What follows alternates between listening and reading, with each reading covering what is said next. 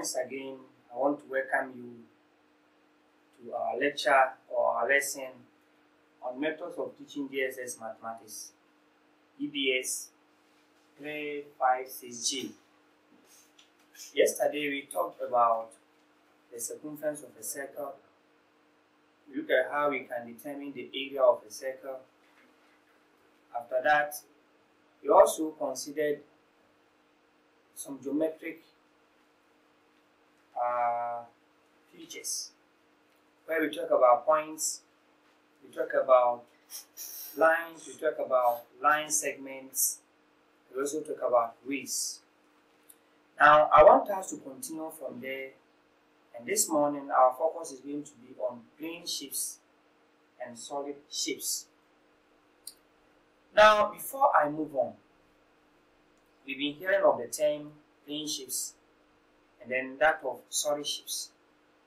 It is my expectation that when we are done with this lesson, you will be able to identify or tell the difference between plane shapes and then that of solid ships And then be able to identify some of these examples, examples of plane shapes and that of solid ships And even teach our kids how they can find some of these things in our real world, the real world, the, the real life environment. Okay? Because we expect that whenever we teach our kids in the classroom, they should be able to take whatever we have taught them to the outside world. And that's what we talk about transfer of knowledge. And so our focus is going to be on that. Now, what do we mean by saying that this figure is a plane shape. When I talk about a plane shape, we are saying that it's a closed two-dimensional or flat figure. It's a closed two-dimensional or flat figure. So we can talk about examples like triangles, we can talk about squares, we can talk about rectangles, we can talk about circle, we can talk about kites, we can talk about trapezium. We can talk about rhombus other shapes. So those shapes are what we call the plane shapes. They are two-dimensional. When I talk about two-dimensional, it means that they have two dimensions. They have the length or they can have the width. They have only two dimensions. And for plane shapes, we can only calculate their area. And so in most cases, you will notice that they can ask you to determine the area of a circle. Remember, we talked about how we can demonstrate to kids how we can get the area of a circle. We did that yesterday. We can also talk about even how to determine the area of a triangle, the square, the rectangle, which we are going to do in our subsequent lesson. How to determine area of a square, how to determine the area of a triangle using that idea to determine that of maybe have, you have, you have a rectangle, how do you use that one to determine the area of a triangle? We are going to do all those things. Okay. But like I said, our focus today is going to be on plane shape. So like I've said, a plane shape is a closed two-dimensional or flat figure. And we are saying that examples are triangles, we can talk about squares, we can talk about rectangles, we can talk about circle, we can talk about kites. We can also even talk about trapezium, we can talk about rhombus, we about a parallelogram. All those things are plane shapes, and we can find the area of these figures. But when we come to the solid shapes, the solid shapes are three-dimensional. They are three-dimensional. And here we talk about the fact that they are three-dimensional, it means that they have width, we have the length or we have the depth, and then we have the height. So they have width, they have the length, and then they have the height. And so that's why we talk about the fact that they are three dimensional. Okay. Now you notice that these solid shapes are developed out of the plane shapes. And so you notice that when we talk about other plane shapes, the plane shapes can be used to develop these solid shapes. And so when we talk about solid shapes, we can categorize the solid shapes under three main headings. We can talk about the prisms, we can talk about the pyramid, we can talk about the spheres. Now, if you are going to class to teach the kids these solid shapes, most of them are common in our environment. So, we can draw, we can model some of these things using cardboards, which means that if you want to teach the kids these solid shapes, then it means you have to go to class with examples of solid shapes. So I have with me here, this is a solid shape. I'll tell you why it is a solid shape. Okay? This is also a solid shape. I think you have seen this one before. This one looks like something. You have seen those things in your environment. This is also a solid shape. In fact, this one is like this one. This is like the mirror thing that I've shown you. This is a solid shape. Okay? It looks like a box. You can tell that. Or a chalk box that we know, a tank that we have been seeing. This is also a solid shape. Okay? This solid shape, you say is like the Maggi cube or the sugar, sugar cube. Okay? This is also a nice solid shape. Look at it. It's a solid shape. Okay. So we can teach these concepts by showing the students most of these solid shapes. So like I said, we can put them under three main headings we said you have the prisms.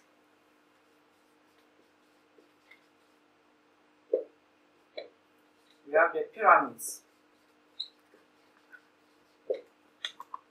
And the third one is the spheres. So I'm going to take them one by one. And then for each of the category or for each of the type, we consider those examples. So let me start with the first one.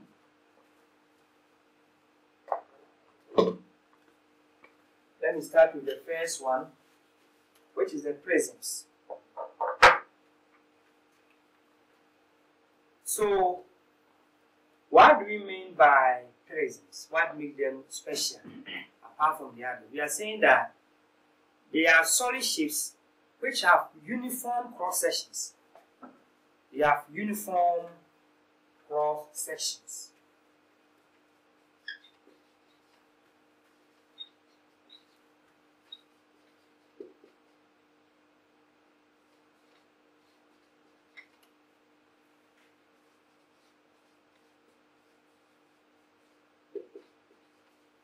They have uniform cross sections. And why are we saying so? We are saying so because if you look at any of the prisms, the base, the way the base is formed, depicts the nature of the shape. The way the shape is formed depicts the nature of the shape. So we are saying that they are uniform process. We are saying they are made up of pile up concrete. They are made up of pile up congruent plane shapes made up of piled up.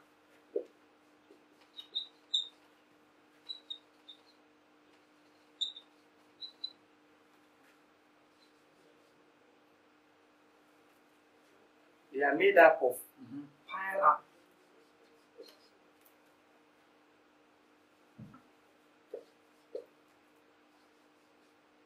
Congruent.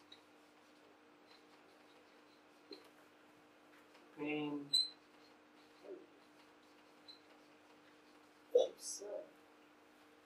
congruent friendship. Like I said, the solid shapes are developed out of the plane shapes. So if you have a particular plane shape, the way the plane shape is going to be formed is going to be determined by the way the solid shape is going to be formed is going to be determined by the plane shape form. That's why we are saying that for the prisms, they have uniform cross sections. And so, if you take a look at this shape, it's one of the prisms. This is what we call the cube.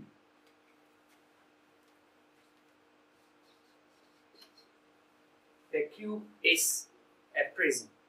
If you look at it, you will see that it has a square base. The base is a square. And the way the base is defines the faces of the shape. So look at the base, it's a square, and the faces are also square in nature. Okay? Let's look at this plane shape. Uh, this, sorry shape.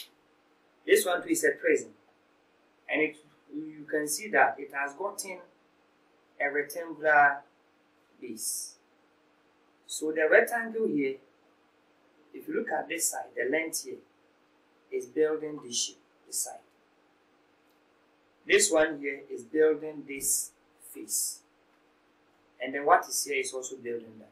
So the way the base is formed determines the nature of the shape. Builds piles up, that is pile up congruent plane.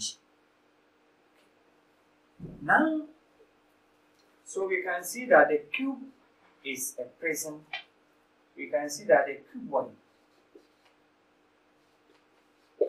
is also a prism.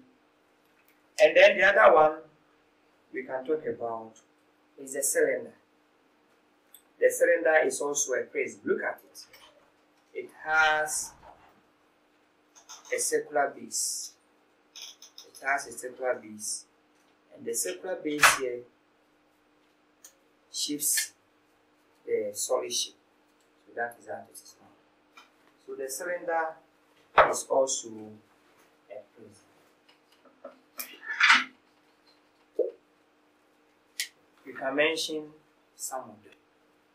them. Okay? And so if you have taught your kids something like this and you have shown them some of these examples, you will notice that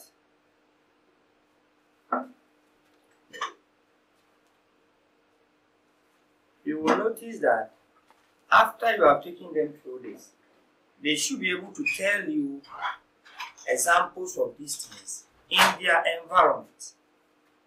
Examples of some of them in their in their environments. Okay.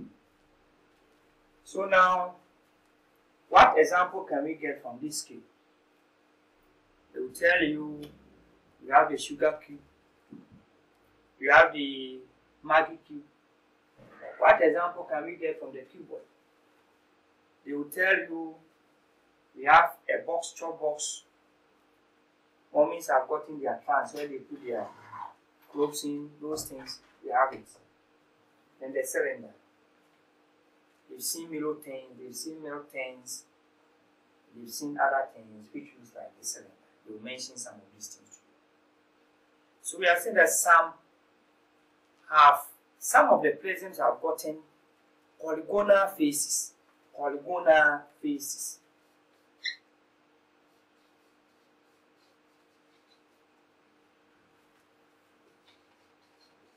And others to have the circular faces, circular.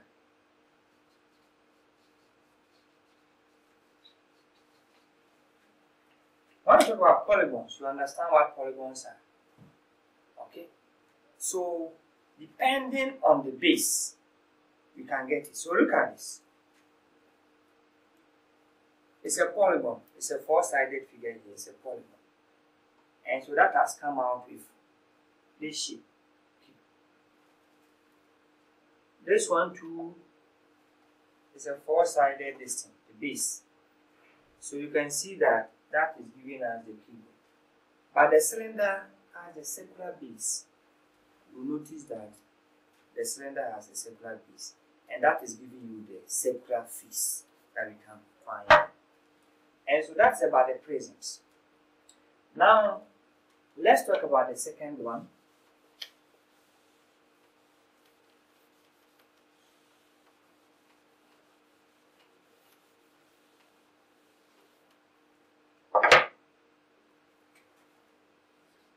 What is the pyramid?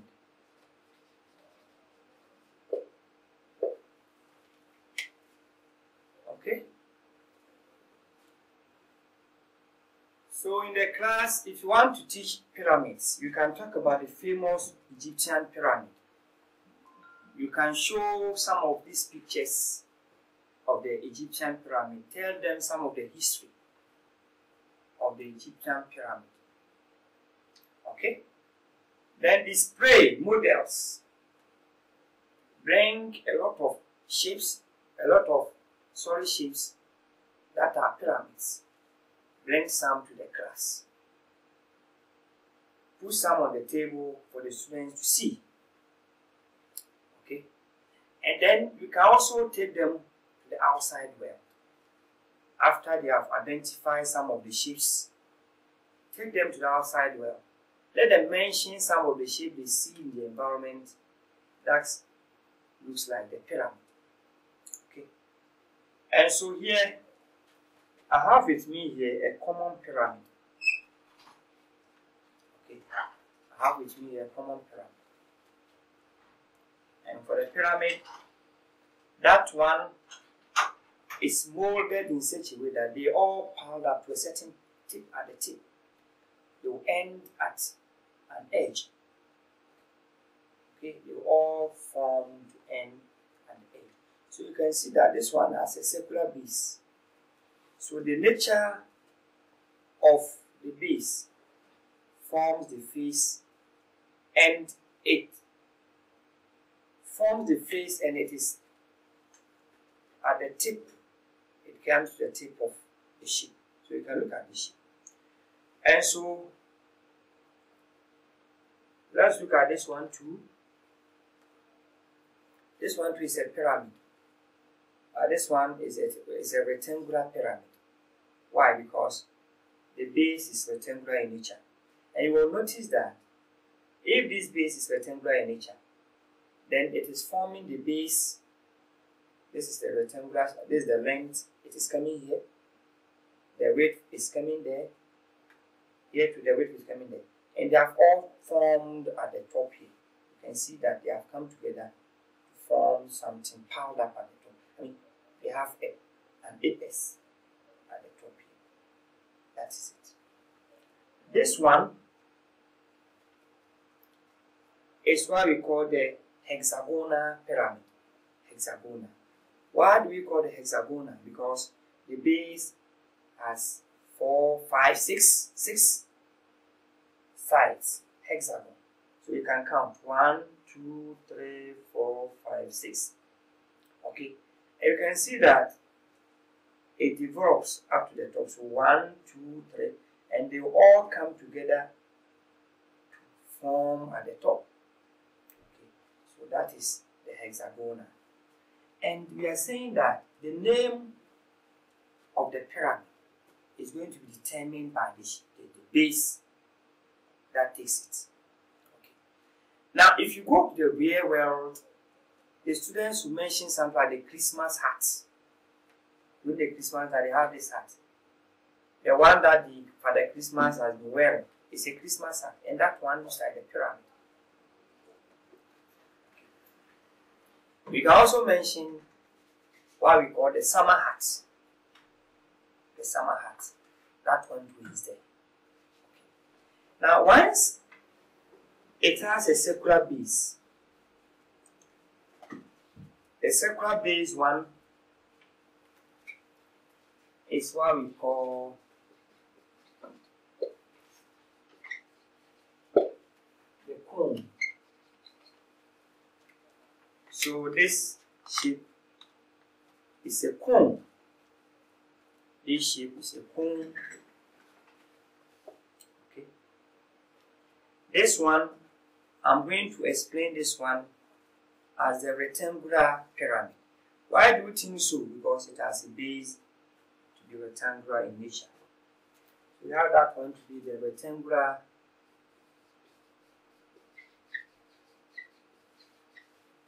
pyramid. Okay. And what I showed to you, I said it is a hexagonal pyramid. Hexagonal. Because the base has six sides. Hexagonal.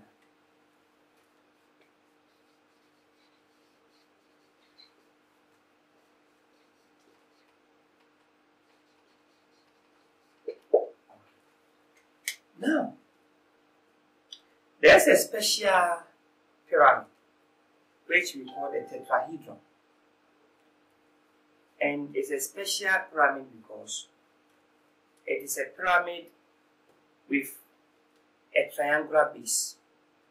But not necessarily a triangular base, but we are saying that the triangle that is forming the base is an equilateral triangle.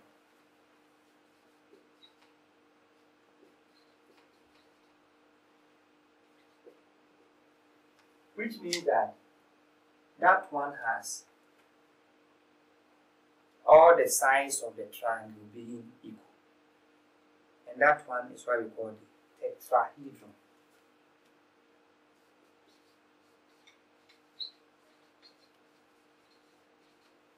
So that one is uh, a triangular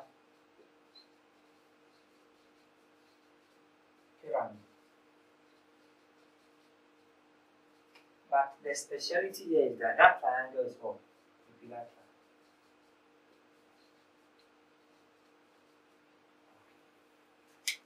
So in effect, this is what we call, or these are some of the examples of the pyramids that we can mention. And like I said, after we are done with this, they should be able to mention some of the things that they find in their local environment, which are pyramidal in nature, pyramidal in nature. I've mentioned some like the summer hat, I've mentioned the Christmas hat, and I've mentioned the.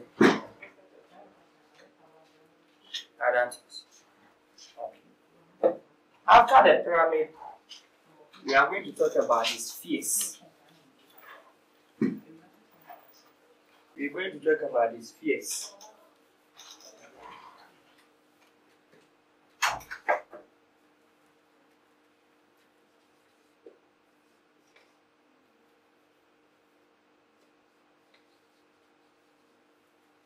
And the spheres are common. The spheres, they are common. We are saying that they are round shapes. They are round or shapes. And there are so many examples of those shapes in our environment. You can talk about the football that we have been playing. You can take a look at the shape of an orange. You can take a look at the shape of a football, a, a tennis ball, a long tennis ball or a table tennis ball. All these shapes are spherical in nature. The shape of the globe is spherical in nature. So all those shapes are also spheres, and spheres are also part of the solid shapes that we can consider. Now, when we are done with this, then our focus is now going to teach the students how they can identify what we call the faces.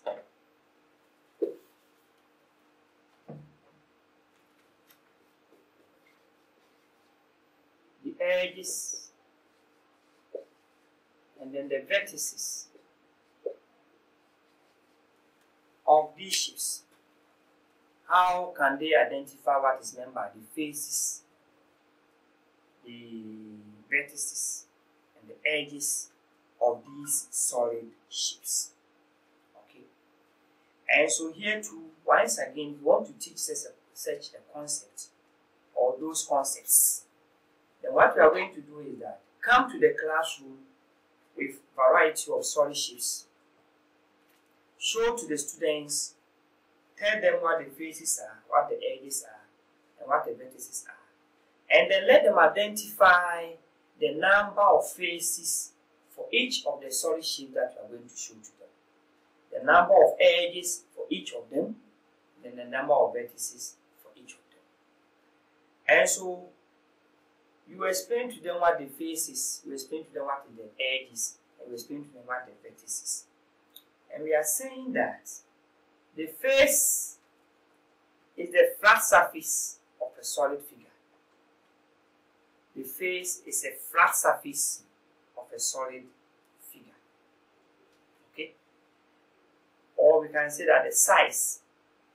We can also say that the size. Normally they use the size. Instead of the face, they talk about the size. So here, the size or the face in, in effect is the flat surface of that solid figure under consideration. So if I have this shape, the face is the flat surface here. So this one is a face. Look at it. It's a face. This is a face. This is a face. This is a face. This is a face. This is a face. So you show to them the face and that.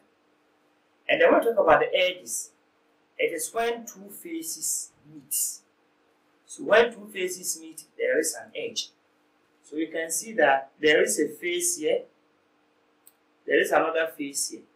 Where this face meets this face, this point, this place, is what we call the edge.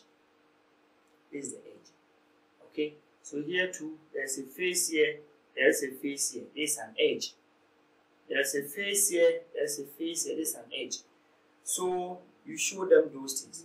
And which one is the vertex? Here too, where two or more edges meet, there is a vertex. Where two or more edges meet, there is a vertex. So look at it. There's a face here, there's a face here, there's a face here, there's a face here. They're meeting at this point. Okay? This point here is the vertex. This is a vertex. This is a vertex. This is a vertex. This is a vertex. This is a vertex. So now, after you have taken through, after you have taken them through these activities, then you take any solution. Let them tell you the number of faces. If it's a cylinder, what will be the face? The cylinder has this. This is the face. Okay. This is the phase. Okay, this is a face of the cylinder. Can we also say this is a face? We also say this? And so you take them through these activities. And when you are done with that, you show them the shape and then let them identify the number of solid, the number of vertices, the number of edges, the number of faces in the shapes. So now I am going to draw a table and this table is going to guide us to identify that. So after you have taken them to that, you will draw the table. So you have the common solid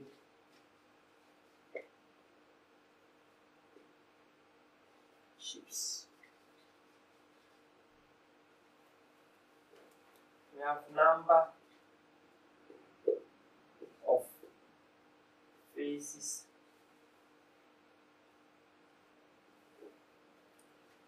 number of edges number of vertices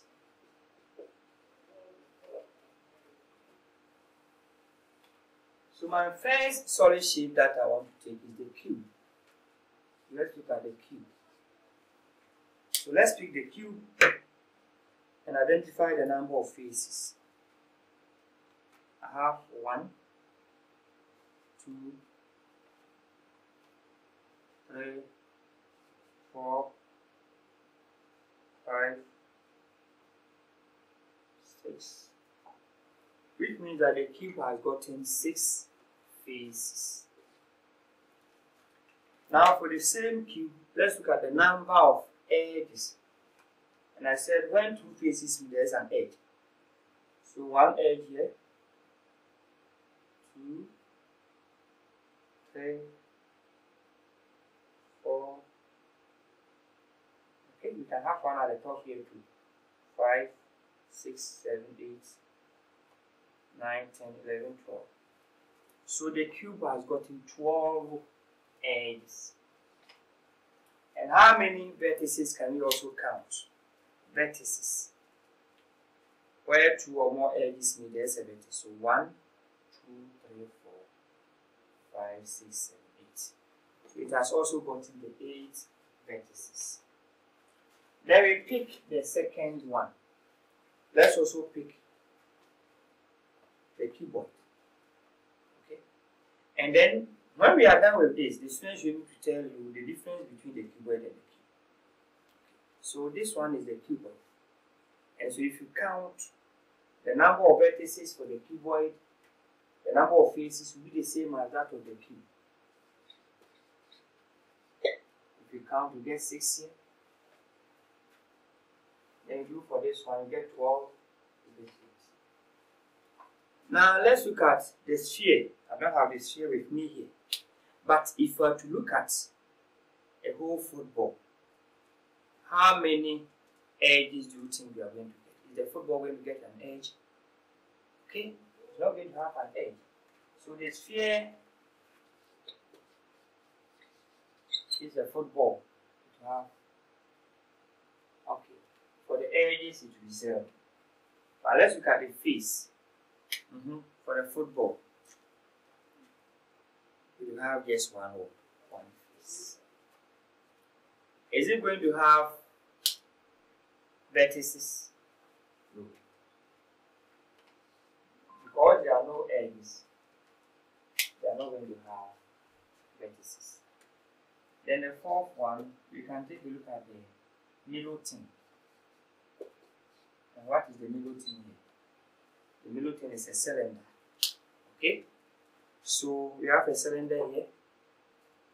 Let's look at the number of faces. So one face, one, two, three. So this one too has gotten three faces. Let's look at the number of edges. The number of edges. So one face, one face, one face. So how many edges? Edge one. Because this face is meeting this face at this edge. So this an edge. This face is also meeting this face at this point. So this and also an edge. And we have two edges. But how many vertices are we going to get? We will not get any vertices. So we will do for others. Maybe let's look at the cone. I have it here, cone here. So for the cone, let me look at the number of faces there. How many faces do you think we are going to have for the cone? One face is here. And then the other face is here. So the cone has gotten two faces. Cone has two faces. And how many edges do you think it will have? There is a face here another face So they meet at this edge. So they have one edge. Are they going to have a vertex? Of course, one vertex. Okay. So now we can go on and go and go on. Let's look at this pyramid.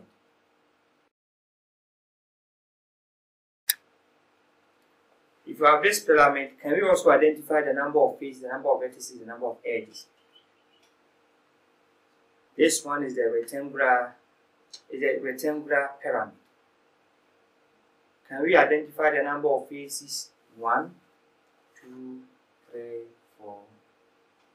Okay, so one, two, three, four, five. Well, I'm not counting it. One, two, three, four, five. So it has five faces. That is rectangular, rectangular pyramid.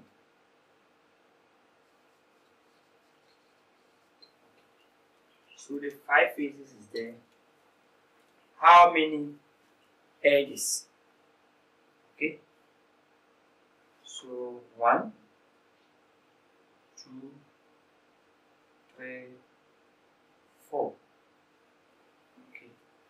As you think to five. I think we can count and count and count. So I'll leave that one to you as an assignment for you to go and try for the rectangular pyramid and all the other things. So let's take the students through these activities. And when we are done, we go back. there. Now, when we are done with the identification of faces, the edges, and the vertices, the next other concept that we are supposed to teach our kids or the pupils will be the identification of nets of solid. Identification of nets of solid. And once again, you go to the class with variety of solid. It could be the cone, it could be the cylinder, it could be the cube, it could be the cuboid, it could be the square pyramid, it could be the rectangular pyramid, it could be the tetrahedron. All those things you can send them to the class. And then we let them identify the nets for them. And what is the nets? The net simply means when you cut open any solid shape, we just want to look at the nature, how it is going to look at when you cut open. Okay? So for instance, this shape I have here, if I want to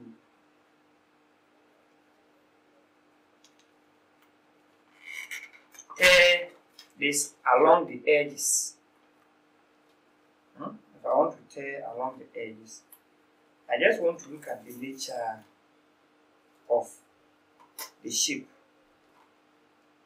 What will be the nature of the shape? How is the shape going to look like? How is the shape going to look like? If I cut open this, how is the shape going to look like? And you do that along the edges. Along the edges. So we do this and what will be the nature of the shape. So this solid shape is a cuboid. So when I can't open it, this solid shape is a cube, sorry. This solid shape is a cube, and I can't open it. This is what I'm going to get. So that if I want to form the shape back, I can just bring them together like this. And then fold it in this way. And that one gives me the shape back. So when I cut open along the edges, I'll have the shape like this. So this is a net of a cube. This is the net of a cube. You can easily draw it here. Let me try to draw it here. This. Like this.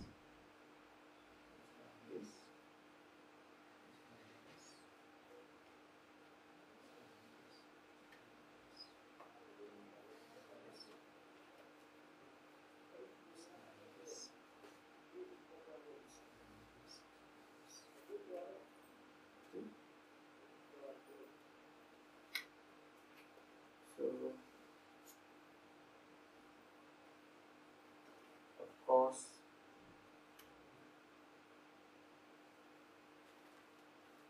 so this is the nets of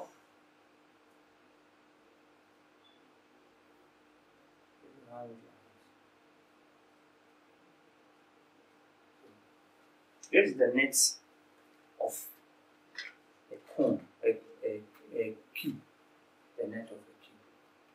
Okay? We can look at that of the cuboid.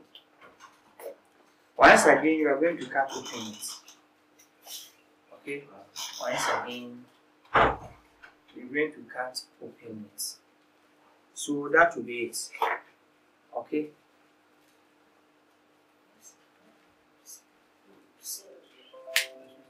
That will be it.